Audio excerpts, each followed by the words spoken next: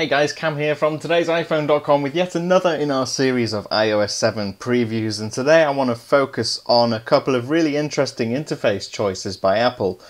Now obviously we've had Notification Center in the past, it was introduced in iOS 5 and in some ways it was kind of better than what we had before that but in some ways it, it kind of just tended, for me at least, to get really messy and full of notifications and then obviously what would happen is that you would forget that you'd got notifications in your notification drawer up there and they would sit there for weeks or months even sometimes because you'd access them from the lock screen or you'd access them just directly from going into an app and they would just sit in your notification center drawer and that was quite annoying.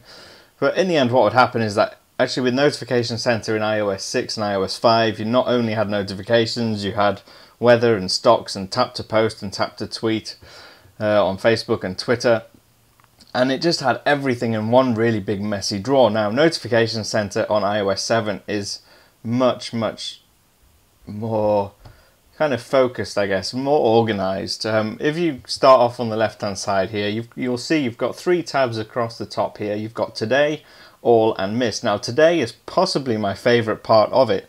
It essentially gives you a rundown as to what's going to happen today, what the weather's like, obviously, what the date is. And what will normally happen is that you'll have obviously you've got your date here and then next will be your weather and it'll just give you a quick summary sentence as to what the weather is in your local location. Um, and underneath that normally it will tell you what your next calendar appointment is for today. Now my my last one of the day has actually already been so that's not showing up on here. But if you look down here you'll see you've got a few hours actually broken down on your calendar to show any events that you may have for the day. Then you've got your stocks uh, and then at the bottom is just a little snapshot of what's happening tomorrow. I've got two events tomorrow and the first one starting at 11 o'clock. And that's all I need to know. It's fantastic. User interface is really nice. I mean, you'll notice that just scrolling it is really, really fast, really smooth. The smoothness and the, the speed of actually scrolling through this kind of adds to the whole glassy effect of, of the actual user interface as well. Now, if we go into all here, you'll notice that all my notifications are in here. Um, now you'll see I've got a reminder for, for Wunderlist which I can either select or just cancel using the cross at the top there. I think. Yeah, clear. And you'll see all the rest as normal, but because it's a lot cleaner and it's a lot smoother, it's a lot simpler, and also much crisper. There's no grey textures, there's no there's no clutter really. It's just so much nicer to use um, and it doesn't feel anywhere near as messy as it used to. And obviously one thing you'll notice in your notifications here is that it tells you when apps have updated because obviously now in iOS 7 apps update automatically in the background. Um, and then in the right hand column are all the ones that I've missed which happen to be none. So that's completely empty which again is a nice touch. Now one thing that I really liked about Notification Center is also, you can now access it in the lock screen. You don't have to unlock your phone. You can just swipe down from your lock screen and you've got access to everything in there so you don't have to go into your phone and go through that extra step of unlocking your phone. And another thing that's completely, I guess it's not necessarily, but it's something that I really liked was Apple's attention to detail when it came to dropping it down. Now you notice depending on how fast you scroll your finger down, that's how fast it comes down. But what's even better is if I throw it down you'll see that it bounces off the bottom. Now if I throw it down slowly, it bounces really low, but if I throw it down really hard, it bounces high. So they've added this kind of physics engine in there for what seems to be no purpose other than to look cool, which I really, really like.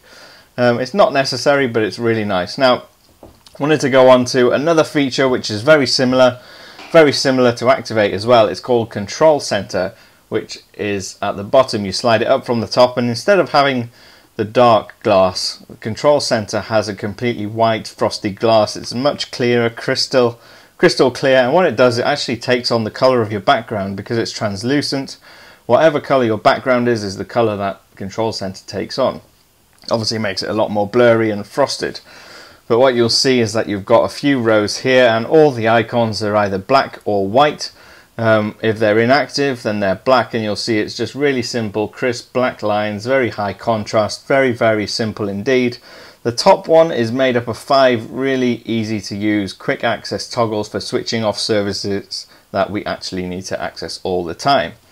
Uh, obviously, the one on the left, that's airplane mode, where you switch off everything. Uh, Wi-Fi, Bluetooth, which I can switch off. Um, you've got Do Not Disturb and also Orientation Lock, all very useful.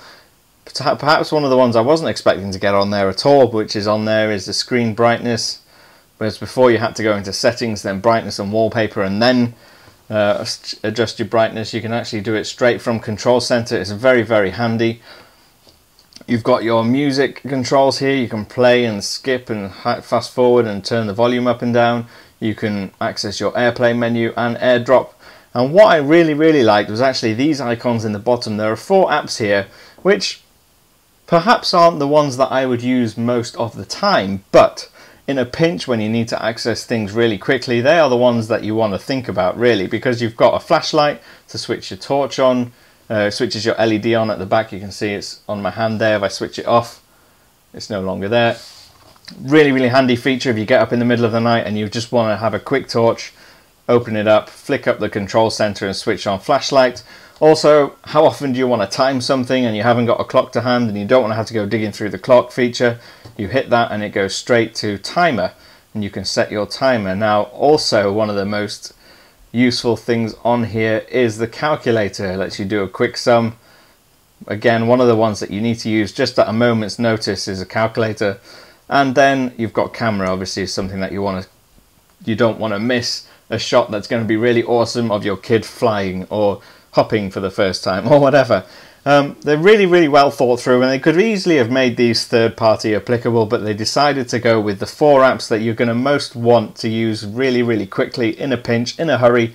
I think that's really, really well done.